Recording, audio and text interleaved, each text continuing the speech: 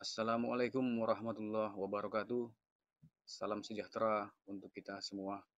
Semoga kita senantiasa masih dalam lindungan Allah Subhanahu wa taala, Tuhan yang Maha Esa. Baik, untuk kembali melanjutkan materi kita yaitu masih seputar tentang teks anekdot. Pada pekan kemarin kita telah banyak belajar mengenai ciri-ciri anekdot ataupun unsur-unsur anekdot, struktur-struktur, dan lain-lain.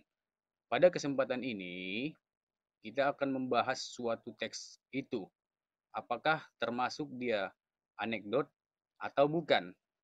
Namun, sebelum kita masuk ke sana, alangkah lebih baiknya kita tahu bagaimana beda anekdot dengan teks humor.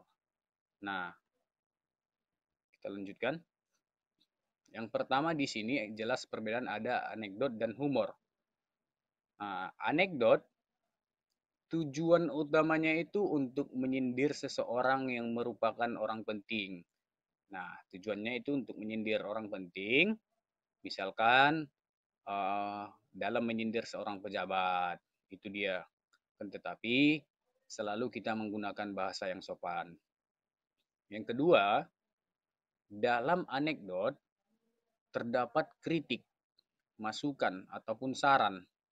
Nah, ini dia kritik terhadap pemerintah. Kritik ini merupakan hasil dari ketidakpuasan seseorang.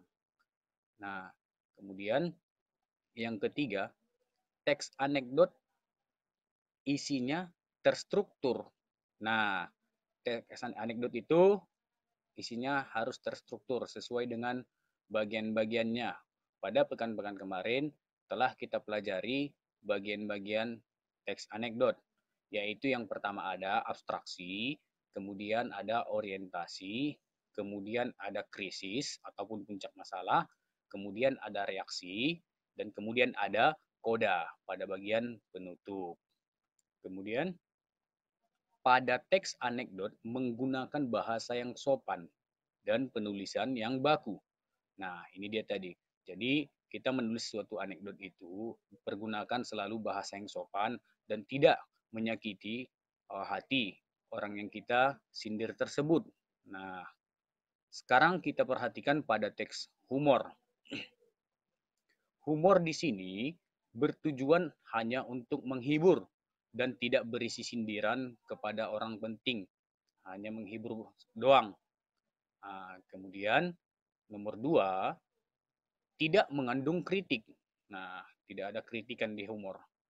Kemudian poin ketiga, teks humor isinya tak terstruktur. Tidak ada struktur di teks humor seperti dalam teks anekdot. Nah, kalau di anekdot tadi ada lima struktur, sementara di humor tidak terstruktur. Kemudian, poin keempat, pada teks humor terkadang mengandung bahasa yang kurang sopan sebagai humor. Nah, ini dia perbedaan yang paling mendasar. Uh, bahasanya bebas, lebih bebas dia. Kadang mengandung penghinaan. Nah, sementara di anekdot tidak boleh seperti itu. Kemudian kita next. Contoh teks. Nah, di sini saya ambil kisah seorang pemulung. Oke, mari kita baca. Pada suatu hari, di sebuah kompleks perumahan yang kelihatan mewah, terjadi perdebatan antara Pak RT dan Pak Pemulung.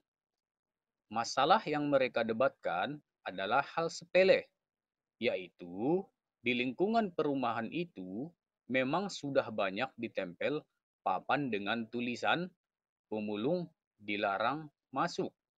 Tetapi masih saja ada pemulung yang tidak menaati aturan tersebut. Terjadi sebuah percakapan Pak sedang cari apa di tempat itu? Ditanyakan oleh Pak RT. Kemudian pemulung menjawab, ya sudah tentu nyari barang bekas atau botol plastik yang dapat didaur ulang. Kemudian dijawab Pak RT, maaf ya Pak, Bapak dapat membaca tulisan yang ada di depan pintu gerbang perumahan ini tidak? Kemudian dijawab oleh pemulung, emang tulisannya apa Pak? Kemudian dijawab lagi oleh Pak RT. Di papan itu tertulis pengumuman pemulung dilarang masuk. Lantas, kenapa Bapak nekat masuk di perumahan ini, Pak? Kemudian dijawab pemulung. Ya, Pak RT, gimana sih? Kalau saya baca tulisan itu, tentu saya tidak akan jadi pemulung, Pak. Kemudian Pak RT hanya bisa terdiam dan membisu dan berpikir bahwa jawaban pemulung itu ada benarnya juga. Pemulung tadi ternyata buta huruf Jelaslah ia tak bisa baca papan pengumuman tersebut. Nah, sekarang kita analisis teks tersebut apakah termasuk anekdot atau bukan. Yang pertama, salah satu tujuan anekdot merupakan untuk menyindir. Kita perhatikan kembali pada teks tersebut. Di sini jelas kita ketahui bahwa sindiran keras ini uh, ditujukan kepada uh, pejabat termasuk para guru. Mengapa? Karena di sini dalam teks ini jelas bahwasanya angka buta huruf masih besar di dalam di dalam kehidupan kita sehari-hari. Nah, ini menjadi PR penting untuk kita, utamanya apabila kita jadi seorang pejabat agar kita um, menekan angka uh, buta huruf pada lingkungan-lingkungan kita. Jelas di sini menyindir. Kemudian kata-kata yang sopan. Nah, pada teks tersebut kita tidak menemukan kata-kata yang bersifat menghina. Dan di sana semua ada kata-kata yang sopan. Otomatis ini masuk sebagai ciri-ciri teks anekdot. Kemudian poin ketiga harus sesuai dengan struktur. Nah, mari kita bedah kembali. Struktur teks anekdot yang pertama itu ada abstraksi. Abstraksi pada teks ter, uh, di bawah ini ialah pada suatu hari di sebuah kompleks perumahan yang kelihatan mewah terjadi perdebatan antara Pak RT dan pemulung. Masalah yang mereka debatkan adalah hal sepele, yaitu di lingkungan perumahan itu memang sudah banyak ditempel papan dengan tulisan pemulung, pemulung dilarang masuk. Tetapi masih saja ada pemulung yang tidak menaati aturan tersebut. Ini merupakan uh, abstraksi ataupun pengenalan pada teks anekdot di bawah ini. Nah, kemudian yang kedua ada orientasi. Orientasi di sini pengenalan. Kita perhatikan, Pak sedang cari apa di tempat ini? Kemudian dijawab pemulung, ya sudah tentu nyari barang bekas atau botol plastik yang dapat didaur ulang. Ini merupakan orientasi pengenalan pada teks anekdot itu. Nah, kemudian setelah dia ada orientasi, kemudian ada krisis ataupun puncak masalah. Nah, puncak masalah pada teks ini yaitu pada percakapan Pak RT Maaf ya Pak, Bapak dapat membaca tulisan yang ada di depan pintu gerbang perumahan ini tidak? Kemudian dijawab pemulung. Emang tulisannya apa Pak?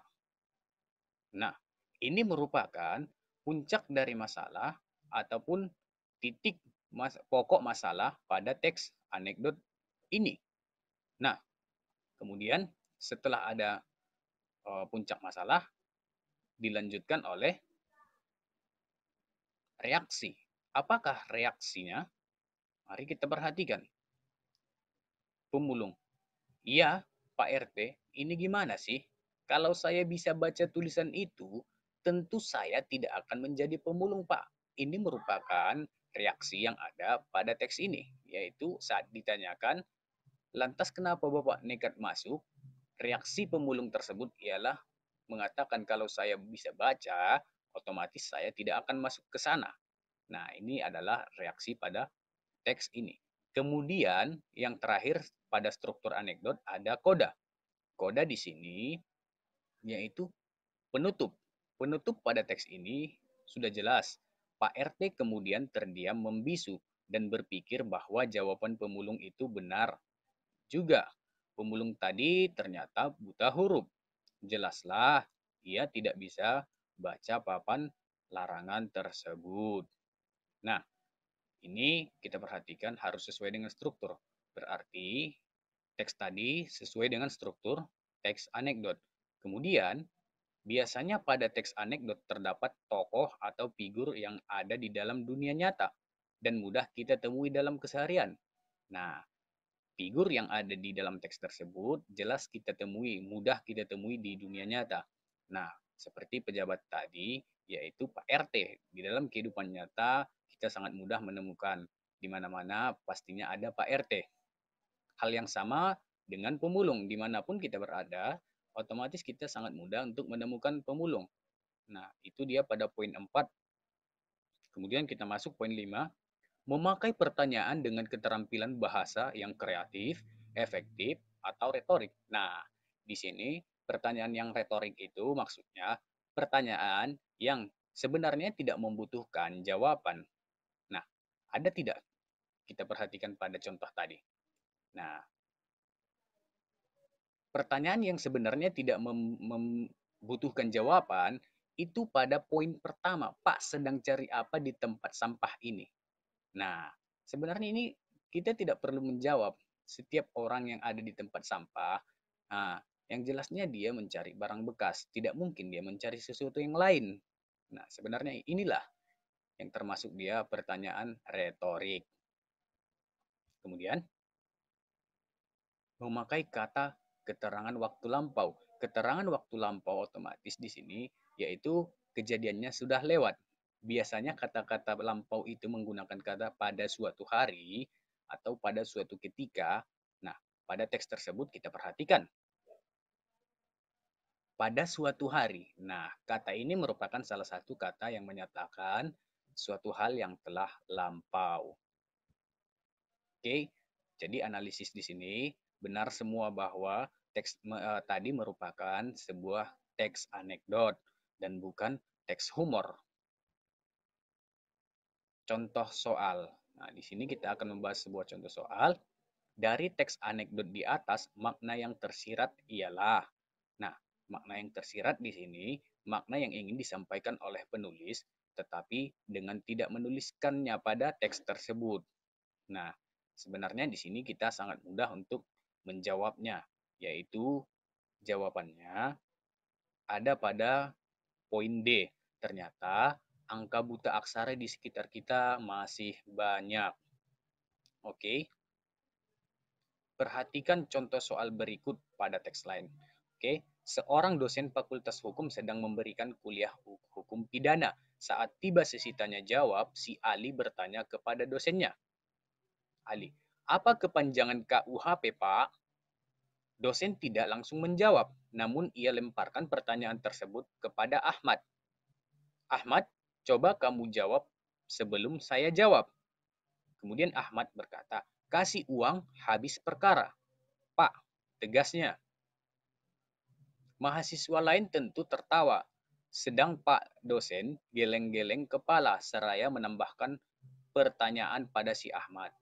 Saudara Ahmad, dari mana saudara tahu jawaban itu? Ahmad menjawab, peribahasa Inggris mengatakan, pengalaman adalah guru terbaik. Begitu, Pak. Lalu seisi kelas pun tertawa. Perlahan suasana kembali tenang. Nah, kelucuan teks anekdot terdapat pada bagian. Nah, ini juga contoh soal tentang anekdot. Jadi di sini jelas kita perhatikan jawaban yang paling tepat ialah poin C. Saat Ahmad memplesetkan KUHP menjadi kasih uang habis perkara. Nah, Kemudian kita lanjutkan contoh soal 3. Arti istilah kasih uang habis perkara dalam teks tersebut adalah A. Setiap perkara tidak dapat diuangkan. B. Setiap perkara tidak dapat diselesaikan. C. Setiap perkara dapat diselesaikan dengan uang. D. Setiap perkara dikenai biaya. E. Setiap perkara harus ditindaklanjuti dengan uang.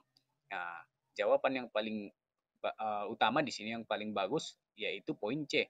Setiap perkara dapat diselesaikan dengan uang. Ini merupakan suatu sindiran sebenarnya. Oke. Nah, contoh soal 4. Makna tersirat pada teks anekdot di atas adalah A. Menjelaskan kepanjangan KUHP sebenarnya adalah Kitab Undang Hukum Pidana. B. Mengkritik Pak dosen yang sedang memberikan kuliah hukum pidana. C. Peribahasa Inggris mengatakan pengalaman adalah guru terbaik. D. Menyindir kepada oknum penegak hukum yang mau disuap. E. Menyindir ahli yang tidak tahu arti KUHP. Di sini jawaban yang paling tepat ialah poin D.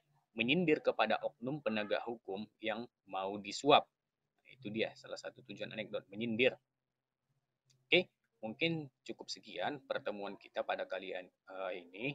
Bila mana ada yang kurang jelas, bisa ditanyakan uh, komentar kasih ke uh, komentar pada kolom di bawah. Namun dalam berkomentar biasakan untuk uh, tidak menggunakan kata-kata yang kurang enak. Oke. Okay? Uh, billahi fisabilil haq pastabikul khairat. Assalamualaikum warahmatullahi wabarakatuh.